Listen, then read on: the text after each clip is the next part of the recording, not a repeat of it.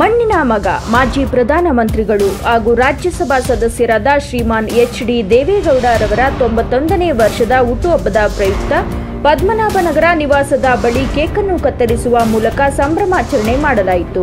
ಇದೇ ಸಂದರ್ಭದಲ್ಲಿ ಜೆಡಿಎಸ್ ಮುಖಂಡರಾದ ಕೆ. ಮಂಜೂರ್ ಅವರು ಹಾಗೂ ಜೆಡಿಎಸ್ ಮುಖಂಡರಾದ ಹರಿಬಾಬುರವರು ಯುವೇಂದ್ರನ್ ಬಾಬುರವರು ಹಾಗೂ ಇನ್ನೂ ಅನೇಕ ಕಾರ್ಯಕರ್ತರು ಮುಖಂಡರುಗಳೆಲ್ಲ ಸೇರಿ ಹುಟ್ಟುಹಬ್ಬವನ್ನು ವಿಜೃಂಭಣೆಯಿಂದ ಆಚರಿಸಲಾಯಿತು.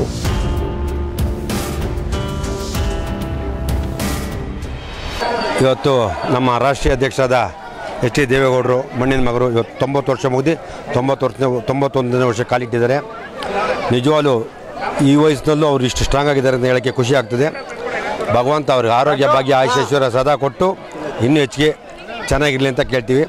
ಈ ಪಕ್ಷ ಇನ್ನೂ ಇವತ್ತು, ಪಕ್ಷಕ್ಕೆ ಇವತ್ತೇನೋ ನಮಗೆಲ್ಲ ಧೈರ್ಯ ಇದೆ ಅಂದರೆ ಅವ್ರ ಸ್ಫೂರ್ತಿ ನೋಡಿದ್ರೆ ನಮಗೆಲ್ಲ ಇನ್ನೂ ಸ್ಫೂರ್ತಿ ಬರ್ತಾರೆ ಅವ್ರು ನೋಡಿದ್ರೆ. ಅವ್ರು ಇವತ್ತು ಹುಮ್ಮಸ್ಸಿನಿಂದ ಎಲ್ಲ ಕೆಲಸ ಮಾಡ್ತಾರೆ. ಅವ್ರಿಗಿನ್ನೂ ಭಗವಂತ ಇನ್ನೂ ಹೆಚ್ಚಿಗೆ ಶಕ್ತಿ ಕೊಡಲಿ ಅಂತ ಹೇಳಕ್ಕೆ ಇಷ್ಟಪಡ್ತೀನಿ. ನಮ್ಮ ರಾಷ್ಟ್ರೀಯ ಅಧ್ಯಕ್ಷರು, ನಮ್ಮೆಲ್ಲರ ಸ್ಫೂರ್ತಿದಾಯಕರು ಎಚ್ ಡಿ ದೇವೇಗೌಡರ ಇವತ್ತು ತೊಂಬತ್ತೊಂದನೇ ವರ್ಷದ ಹುಟ್ಟುಹಬ್ಬ ಏನು ನಡೀತಾ ಇದೆ, ಅವ್ರನ್ನ ನೋಡಿದಾಗೆಲ್ಲ ನಮ್ಗೆ ಸ್ಫೂರ್ತಿ ಆಗ್ತದೆ.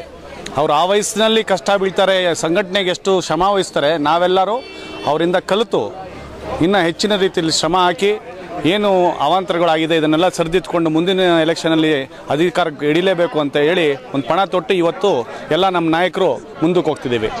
ಅಪ್ಪಾಜಿಯವರಿಗೆ ತೊಂಬತ್ತೊಂದನೇ ವರ್ಷದ ಹುಟ್ಟುಹಬ್ಬದ ಶುಭಾಶಯಗಳು.